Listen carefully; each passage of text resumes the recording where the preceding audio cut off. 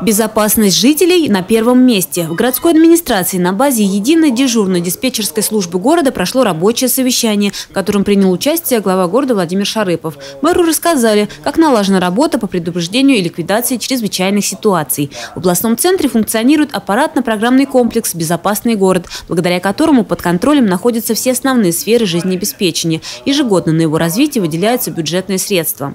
По внедрению развития ПК «Безопасный город» предприняты, конечно, у нас э, очень большие шаги в 2016 году. Это и закуплено новое оборудование, и внедряются сейчас для пользования ДДС новые сегменты ПК «Безопасный город».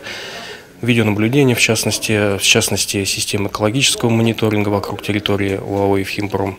Владимир Шарыпов очень внимательно слушал подчиненных и задавал много вопросов, которые у него возникали. Масса вопросов, связанных э, с взаимодействием с контрольно-надзорными органами, с проверяющими структурами, э, которые нам необходимо именно для того, чтобы э, использовать в интересах города эту систему безопасный город.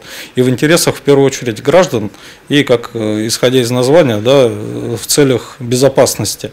Ну и не только безопасности, но еще и экономической целесообразности. Например, обсуждали мы и э, проблему жидких бытовых отходов, несанкционированных свалок. По итогам совещания мэр дал задание администрации проработать вопрос об установке камер видеонаблюдения в тех местах, где регулярно возникают несанкционированные свалки. Возможно, благодаря системе видеонаблюдения получится привлечь к ответственности частных лиц и организаций, совершающих противоправные действия. А главное, такой способ борьбы с помойками бюджету города обойдется дешевле.